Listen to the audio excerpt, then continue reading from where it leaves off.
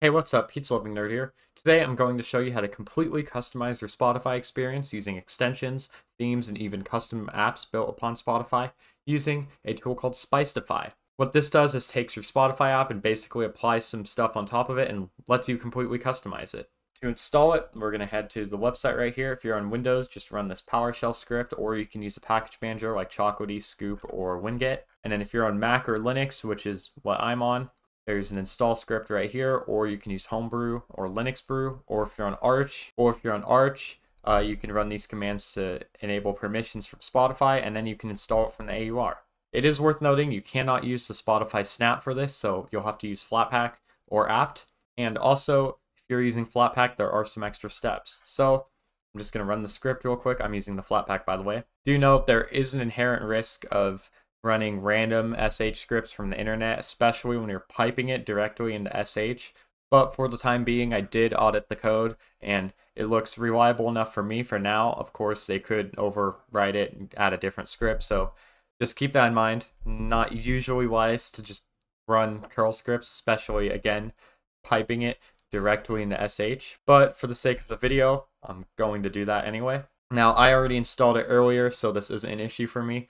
But if you go ahead and run Spicetify, it won't do anything as soon as you're done installing until you restart either your terminal program or just type bash to get a new shell. That's just because it adds itself to your path and your shell needs to be refreshed in order for it to be detected in your path. And now finally, because I'm on the Flatpak of Spotify, I have a few extra steps. So I need to run spicetify-c to generate the new config file that we're going to edit. Now we're going to go in and edit our config we're going to want to set our Spotify path to where it is on Flatpak. Here's it did that automatically for me. And then you need to set your Spotify preferences directory. It can be either of these two, so you will want to check yourself, but I already checked earlier, and for me it's this one.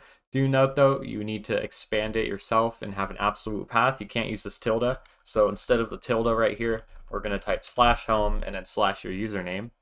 Let's apply that. And then finally, we're going to give uh, read and write perms to these Flatpak directories right here. Next up, we are going to want to install the marketplace. You can technically skip this step, but then if you want to install any extensions or themes, you need to do it manually. So adding the marketplace makes it easier to install stuff and gives you just a nice general store where you can quickly add stuff and discover new extensions and plugins. To do this, we just need to run another script. Again, fair warning, we're running random SH scripts, but we're going to do it anyway. And it's done now. Now we just need to run Spicetify, backup, apply. But once that's done, we're going to see a marketplace in Spotify.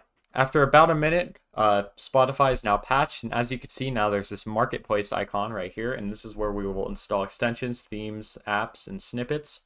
Extensions are self-explanatory. They just add extra functionality to Spotify, so I'm going to install the song stats one, full app display modifications, skip stats, that looks interesting. Display full album date. Sort by play count. I'm not installing this. Who the hell has the time to even make this? Plays a fart with every click.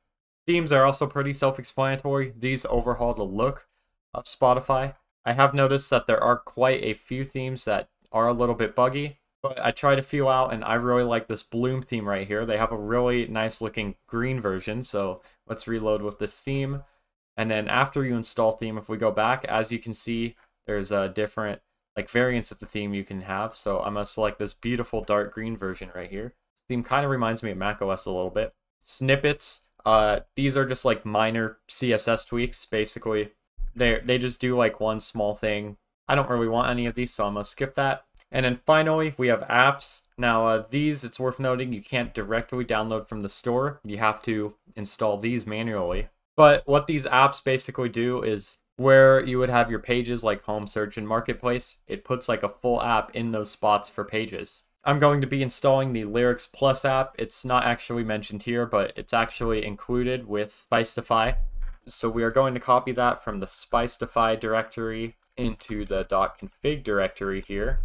And now we just need to run Spicetify config custom, I can't type, apps, and in this case, Lyrics Plus, and we'll apply it, restart Spotify, and now as you can see, I have this lyrics tab right here. If I start playing a song or something, not going to play it on YouTube for copyright, but as you can see here, we have this nice lyrics app built in right here.